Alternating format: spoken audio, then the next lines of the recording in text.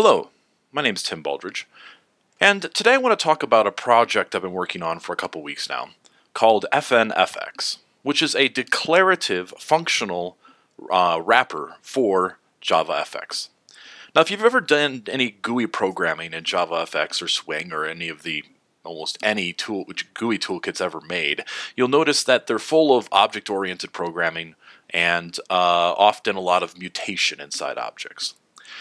So just like some other more recent models of working in the browser have tried to abstract away that and provide a more declarative UI, uh, namely stuff like uh, React.js uh, uh, abstracts it down with a virtual DOM, we take much the same approach in FNFX. We provide a data model that represents the UI, and then you update that model by regenerating the entire data structure.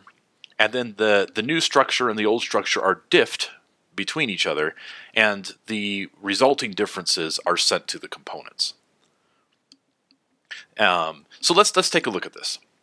Um, this example we're going to look at today uh, is a pretty simple example. It's basically two list boxes, and we can assign items from one list box to the other. But there's some fairly interesting um, interactions here that we have to deal with. So to start with, we're going to start off with our data model. Now, most applications in FNFX will, will consist of a single place where you store um, data. This could be something like uh, just an atom, as we're doing in this case. Um, it could even be something uh, more along the lines of a database, something like Datomic or something. But in this case, we are simply creating 10 items in list A, and then we have an empty vector for list B. And we're going to present a UI where we can shuffle items from one list to the other. Now we have the two operations that we can perform on our data model, namely assign right and assign left. So assign right will take an item with a given index in the in list A and move it to list B. Uh, so that's basically all this is. We get the list, we get the item in the list, we remove that item from the list, and we update the two lists by conjing the value onto the end of the second list and removing it from the first. So now we need a way to display this UI. So to start with, we're going to start here at the main UI. And as you see, it's just hash maps with a few annotations. The type field represents the JavaFX type. So we start with a stage that contains a scene, it's kind of boilerplate, and then the root of the scene is an uh, HBox, which will align our elements horizontally from left to right and space them across uh, fairly nicely. So we don't have to worry about sizes or anything. We just kind of say, um, you know, make it fit. Now the three items in this horizontal box are list A, some assignment buttons, and list B. So let's start with the assignment buttons. Uh, take that back. Let's start with the list. So we hand to each list the data appropriate for it. As you see here, our component takes in the data structure of data. We pull out list A and hand that to the list component, and we give it a key of list A. And then we're going to create a list view that has um, um, some items and a selection model. We're not really using that right now, but um, and then the items are simply we're going to map over list item, which is another component for each item in the list, right? And then this component itself is just a label with the text uh, for the item, some sizing information, um, and then what to do when it's clicked. And we'll handle, we'll talk about events in just a second. And as you see here, we're reusing this component for both the first and the second list, right? Very um, little code duplication here. This is just describing the structure of our UI. So as you can see, this will end up with a bunch of nested hash maps. So then we have assignment buttons. Uh, the text we have on the two buttons is left and right, um, and we have these actions. So if we go down here to our main model, we can take, we can um, create the root by calling the main component, which renders the view from the data. So if, if you're familiar at all with an MVC-like approach, these are our views. These components are our views. The model is the data model up here. And then um, this is, would be the app logic or perhaps the controller, right? So we render that and create the initial root node, um, and we show it uh, down here. So this creates the Java FX, FX component that's the root, based upon our specification.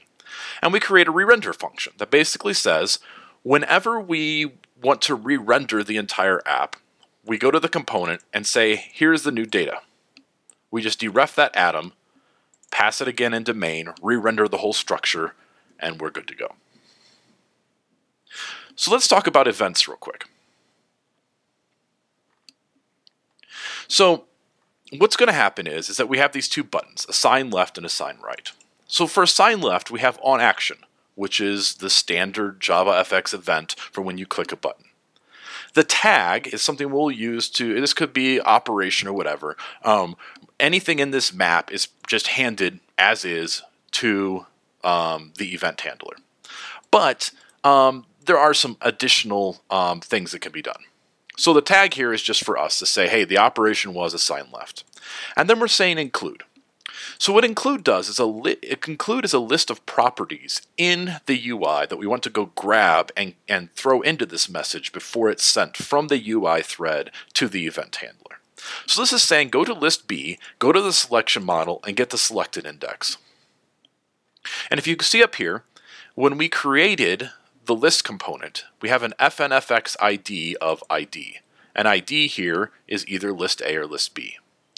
So include says, here's the path. The first item in the path is the FNFX ID. It runs out to there, and then it dives through the JavaFX components, traversing the, the structure until it gets to the end of this path. Kind of like a get in, if you're familiar with that in Clojure. So we grab the selection model and the selected index. And then that is associated as a key into this map. Okay, assign left and assign right.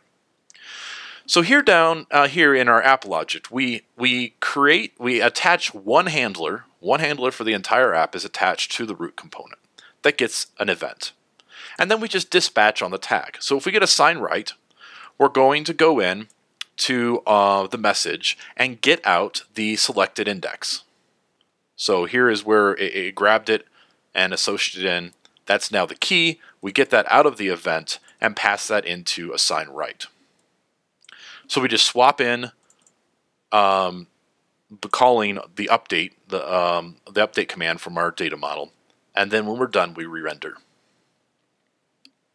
So what's interesting about this approach is that for the most part, all of the mutation in the entire app is happening right here. Actually, all mutation is, handle, is handled here. There is no other mutation in the entire system except for in this controller. Everything else is uh, just values.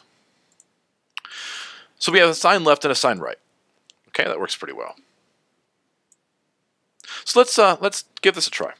Take a look at it. So if we go down here, here is our item assignments. You know, who knows what this is for? We can take an item and move to the right. And you can see here that each time we're doing this, it's re-rendering the UI. And once the JIT warms up, um, it takes very little time. It may take up to a millisecond or so, and we got an error there. Uh, it may take up to a millisecond or so. Sometimes it's even less than a millisecond. If no work was performed, like here, we're just selecting through this list, um, the re-rendering takes um, basically nothing because the model, the app model has not changed. when we're selecting a new item here, the model itself um, uh, it has not changed, and so basically nothing has to be rendered, and therefore it doesn't take any time. Now, there's another thing we can do here is that I've also enabled double clicking. So as you double click the items, they go from one uh, list to the other. So let's look how that's implemented. On each item, we have on mouse clicked, and we're passing in item click as the tag. And the index is the index here. We're doing map index. So we know which item it is in which list. And we're also passing in which list it is. So either list A or list B, right? And then event properties are other things from the JavaFX event that we want to include. This event properties um, is done here by um, uh, what we want is click count in this case. So in, in JavaFX, when you click the same component multiple times, it'll increment this click count.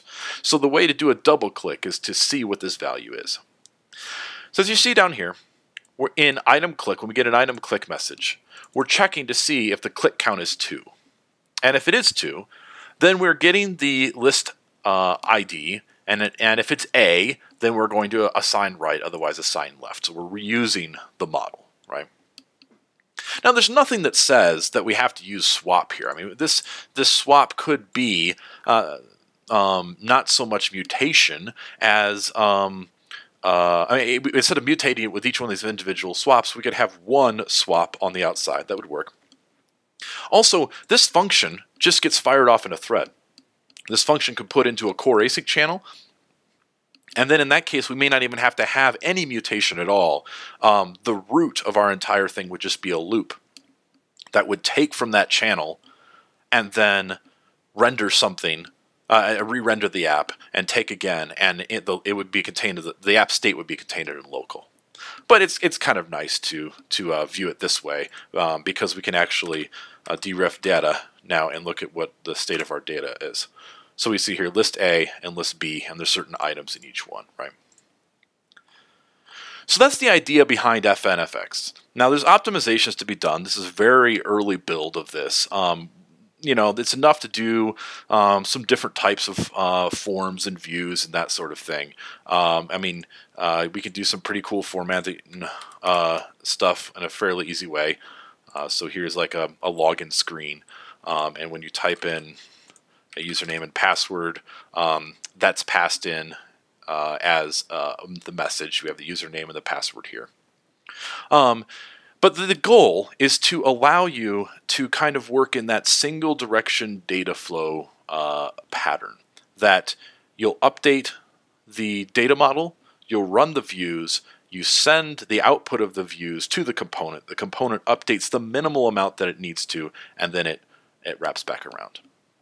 Um, before I finish, I do want to talk a little bit about performance because the performance of this um, is actually pretty good.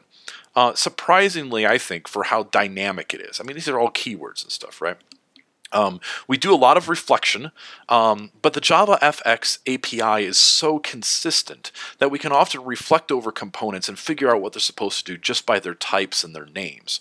Um, so based upon that, we on the fly generate Clojure code um, that wraps that um, and then compile it. So, so we only reflect over the components once and then we reuse those components, um, we reuse that compiled code uh, whenever it needs to be accessed again. Um, and uh, so, so we, we, use reflection, but we only use it once and not every time a component uh, needs to be updated or something along those lines. Um, the other thing that's kind of neat about being able to run this on the JVM is we do have multiple threads. And so the diffing actually happens not on the UI thread, but on a separate thread. And so we get this pipelining effect where your app logic happens in one thread. It can change, it can generate views in another thread if you want.